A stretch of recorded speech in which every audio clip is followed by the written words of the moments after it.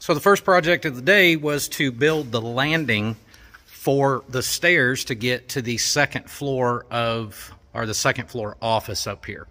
Um, so I am running a 3.0 door, which is 36 inches, but I want to do the stairs at 42 inches wide. And I wanted to build the landing a little bigger than I needed so I can get up there and kind of make a turn to move furniture or whatever up in there. So do on this is I'm going to show you guys an easy way to make stairs. All right, so I've got this cantilevered over. That's a 2 by 8 by 12 and there's a 75% rule, if you will. If you're going to cantilever anything, you need to make sure that 75% of your board length uh, is on this side of your load bearing wall with only 25% exposed, and that makes it strong. Plus, we've got Simpson uh, half inch strong tie lags in right there. So we're, we're rock solid on this cantilever. All right, so uh, let's take a look. Uh, there's, there's a math way to figure this out, right? And I want to show you guys an easy way to do things, like what I, I try to do. So there's, there's a math way you can figure this out, and there's different ways you can do stairs, but there are online stair calculators. I think mycarpentry.com is one, and they have they have stair calculators, and it makes this stuff real easy. All right, so first thing you got to do, you'll input this number here, which is the total rise. And what that is, is you're measuring from the floor to the very top of where your stairs you want them to be, including the subflooring that you want to mate it to. I'm using a three quarter inch subfloor, but I'm using a one and a half inch tread. We got to take that into consideration. So because we want the top tread to mate with the subflooring and be flush. So I've got a 105 and three quarter total rise, inch and a half tread, using the three quarter subfloor. All right, now my ideal, what I wanted was a seven and a half inch rise with a ten and a half inch run. This is a very comfortable stair that'll result in a 35.7 degree angle. Uh, this is typically around about what you would see. Sometimes you'll see an 11 inch run, maybe a 7 inch rise. Uh, if it's going into a home built for an older person, make it a little easier to uh, climb the stairs. So, that being said, I wanted, because there may have some people going up these stairs, I wanted them to be a little more comfortable than the ones going to the parks. So, I started with a seven and a half inch rise, ten and a half inch run. That's going to yield 14 steps. The first step is going to be six and a sixteenth of an inch on the first step. Okay. And then that'll give me even stairs all the way up and my total run would be 147 inches. And that's, uh, yeah, total run's going to be 147. So that's basically, you got 10 and a half inches of run, and then you multiply that out 12, uh, by 14 steps, and you get a 147 total run, basically.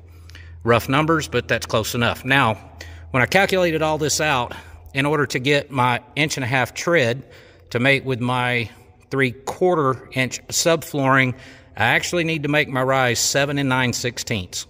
So not too much more, but that'll still be nice. Seven and nine sixteenths, ten and a half inch run, 14 steps. Boo, boo, boo, boo. There we go. Now what I need to do is double check that I have enough room for 147 inches for my run. This with a caveat. The big disclaimer thing.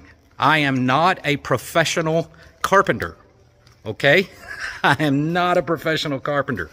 Uh, I did grow up building things, and I like building things. So uh, sometimes, uh, what they say, it's good enough for government work. Apologies to everybody that's a government employee, but that's what they say, right? So uh, as long as it's structurally sound, remember, one of my big things about this channel, guys, is get out and try something. Try something new. Build something, right? There's a great deal of pride that comes in it. This type of stuff, yeah, I like for perfect.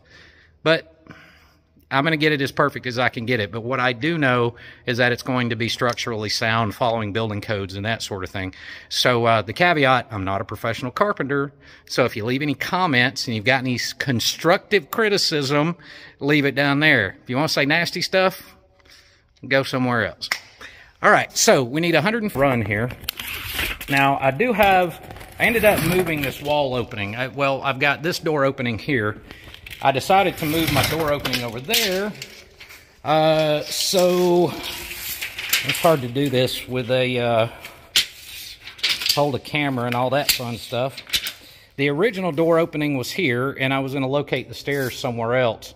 And I wanted comfortable, and I didn't have quite enough room to get that rise and run. So door opening, I'm actually just going to slam studs back in there, and then this will be a wall. So uh, 147 inches uh, is right there, but we need to add 49 and a half inches because of our landing. Okay, so let's just say four feet. We're getting pretty close. So we're at 12 feet. Let's see, we're going to land at 16 feet. That's perfect. So our stairs should land right here at 16 feet. All right. And the great thing about that is there's the door opening for the bathroom. So it'll, uh, a swing out door here will not hit the stairs, and I'll have enough room to bring a handrail down so the door won't hit the stairs. I'm golden there. So where we should land is real close to right there. Actually, I need to add, let me think. Nope, I'm good. All right, we should be somewhere right here at about 16 feet. That's where we should land. Now let me show you how to lay it out on the board. Just use a stair calculator, and I'm going to show you a quick, easy way to do this. You guys that are carpenters, y'all know how to do this stuff anyway. So uh, let me show you how to lay it out. All right, first thing, get yourself a 2 by 12 You need to make sure it's long enough. So this is going to be a long set of stairs. So I went with a, a 2 by 12 by 16, which put me just right to reduce as much waste as possible. I'm not a big fan of waste. So uh, 2 by 12 by 16 is going to work right on this one. You may have to go with a 20 depending on the length of your staircase. So the first thing you do is get yourself a nice little handy carpenter square just like this. And then get yourself some of these little thread on brass things, right? And what you do is you set this edge right here at your rise, set this edge right here on your run. So remember, we're at 7 and 9 sixteenths, and we're at 10 and a half right there. Then you start at the top of your board and do just like that. And you trace around it. Then you can slide down, made it at the top up there, make another mark, and just work your way just like that all the way down the board, making your marks, right? Now, one of the things you also want to do is double check the condition of the board. If you'll notice, I strategically placed this to cut this knot out, all right? There is a knot right here, but it's not all the way through. It's on the surface, and I can see on the side here it looks good. So you don't want any knots in this area right here, and you may find you have to move back and forth to get the knots cut out. And you'll notice this one right here, but it's on a run and it's not down here on the torsion side. So I'm not concerned about that one. And notice we have no other knots of significance. I did have this one on the edge right here and it does go all the way through. However, that's being cut off. So if we go back to the top, you'll notice this is my last step that's going to go against uh, yeah, that's going to go against my rim joist. All right. So this is your top step. Now that you've made your marks, you flip it over and you can make that mark or just get a square, measure 10 and a half inches here, which is my run. Make a mark at 90 degrees, and that's the edge that will butt against uh, a rim joist.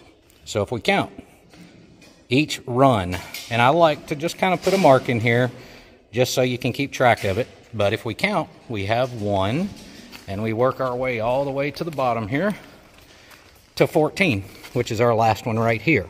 Now, if you remember, I had mentioned that my first step needs to be 6 and a 16th inches. All right, so this is step number 14. I marked it out one more to give me this 90 degree here. And then I measured down for my first step, which is 6 and a 16th off of the floor and make another 90 degree mark there. Then all this cut gets cut away. All of that, everywhere I have an X gets cut away. And stringer. Then we're going to put it up there, check it, make sure it's good, and then uh, we'll just use this as a template to make the other two. Uh, there's one other little step I want to show you. Kicker. right? Because when we put this stair on the concrete, we want to make sure that it's not going to push forward and come off of our rim joist. So I'm going to draw a square. I'm going to put the phone down for a second. And I'm going to draw a square right here, inch and a half. And then I'm going to come over three and a half because that's the size of a two by four. And uh, so I'm going to cut a little notch out right here for that kicker. And I'll show you in just a second. There we go. So cutting out for a kicker. Again, a two by four is not two by four. It's an inch and a half by three and a half. So we cut that out and that'll be for the kicker. Didn't need to, uh, you guys didn't need to watch me do a bunch of cutting. So anyway, here's what we got. So once I flush that out on the bottom there, you're gonna see I've got, that's right at an inch and a half, or excuse me, three quarters of an inch between that top step and the top. So when I put my inch and a half tread on there, plus the three quarter inch subfloor, uh, they'll flush out. So I'm at three quarter there. So nice rise and run. And down here on the bottom, we're golden. I didn't realize I'm a couple inches past where I thought we would be, but I knew I was well within the width of that door, so no big deal. Now, uh, one other little trick I want to tell you, I'm not overly concerned with it, but if I was like building these in a home or something like that, one thing that you can do instead of pre-cutting this bottom here, all right, what you can do is go up there and raise this whole thing up uh, a little bit. Uh, and then leave this other end long. Then you take a board, lay it flat here, run a pencil across it. So in other words, if you put a, say a you know, a, a two by four here, which is an inch and a half. You would raise it an inch and a half on the other side, put a board here, draw a line, and then cut to that line. And then you would know that you're going to be perfectly parallel to the floor there. I know that's a rough explanation, but we're good to go there. So now that we know that it fits, the next part is going to be to, uh, since I know my sheet good is going to be three quarter inch, I'm going to space this stringer out three quarter inch from the wall with just a couple of pieces of scrap to make sure I have enough room to slide my sheet goods behind that stringer. And then I will equally space the uh, stringers out right there. And uh, there we go. So now we take this, trace it out on two more boards, and go back to cutting. Man, what a day. It's been a long day. Hadn't shot a ton of video actually doing what I did, or while I was doing it, because it's just running saws and stuff. There's nothing exciting about that stuff really. But uh, I I don't know. I started this morning about six six thirty. It's uh, it's ten o'clock right now, so it's been uh, what's that? Uh, 12, 16 hour day. I'm pretty wore out. I actually haven't eaten anything today either. This is a great weight loss plan. Actually, I take that back. I did have some peanut butter crackers and I had a couple of Pop Tarts. So I'm gonna go get something to something to eat at uh, at the folks' house there, and uh, um, understand there's meatloaf and stuff's waiting on me, which would be absolutely wonderful. So at least I'll show you what I got done today, and then we're gonna wrap this video up, and then tomorrow, well, I'll go over what I got done today. Uh, I got the cantilever done. I was one and two here, so I did get that done. Uh, got my stairs in, and uh, Got those braced up there and actually we'll walk up. We'll walk up and have a look. So I did get the stairs in and we'll give it a check. And uh, of course I've checked along the way, but I don't know why my phone's not focusing. There we go. We're level. And we're level. So we're golden and uh, it actually turned out to be out to be a really comfortable set of stairs. Um, ended up using uh, two by twelves uh, for all the treads. So with that 10 and a half inch run and then the two by 12, I've got a nice little overhang, which is what I wanted, uh, right there. Nice little lip there on it. So uh, 10 and a half inch run, figure on the board. Basically what I've got is an 11 inch step by the time you uh, do that. So anyway, so of course it's glued and nailed. Uh, three inches, four on each stringer. And then uh, got our platform in, glued and down, so we're all good. The next thing I got done is uh, uh, sistered in rim joist right here on this edge. And I'll show you the top of my posts. Those are my six by six posts. Can't see too much, but I did get them notched in.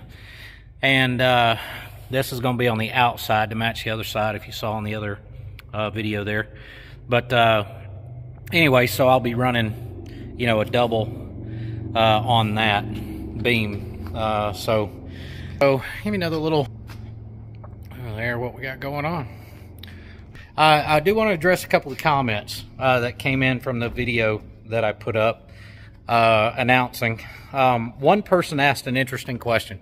Actually, it came two or three people, and you guys uh, mentioned that they were machinists, and they said that they had a difficult time being efficient doing carpentry work because, you know, in the world of machining, we live, well, I do anyway, you know, I live four zeros to the right of a decimal point. You know, we're de dealing with a tenth of an inch. And their question was, how do you deal with that when you're doing carpentry work? Because the reality is, you know, guys, one of the guys said he's doing everything he can do to get down to a 30 seconds of an inch. And uh, yeah, so let me answer that question. The, the way that I look at it is there's several types of carpentry, just like there's several types of machining, right? There's certain things you can machine that if you're within five thou plus or minus, it's good enough. But when you're doing very precision machining, aircraft world, tool and die uh, engines, all right, you got to be more precise than that. So in the carpentry world, again, I'm not a professional carpenter, all right? Let me disclaimer, right? Um, but, you know, framing, that's one level, rough framing, right? If you're within a 16th, and in all honesty, some cases within an eighth, if you're building a shed or something like that, sometimes that's even close enough. Uh, but, and that sounds ridiculous, but you got to consider what you're using it for, right? So I would say the le level of precision you need to maintain with your carpentry work is relative to the use and uh, what the finished product is intended to be. So rough framing, if you're within a 16th, man, run with it. Go, go, go. If you're doing finished carpentry, moldings, copings, things like that, of course, you want to be tight, dead nut on the numbers as close as you can get. But then you got to remember too, wood moves and changes very much like metal, but more so. Moisture, all these things. So I never fit anything exactly tight unless it's finished carpentry and we're dealing with, you know, wood that we know is 100% dry, kiln dried, and it's all that. Again, finished carpentry type stuff. So that's just my tidbit on it. But I wanted to give you guys an enormous thank you. Thank you for everyone's positive comments.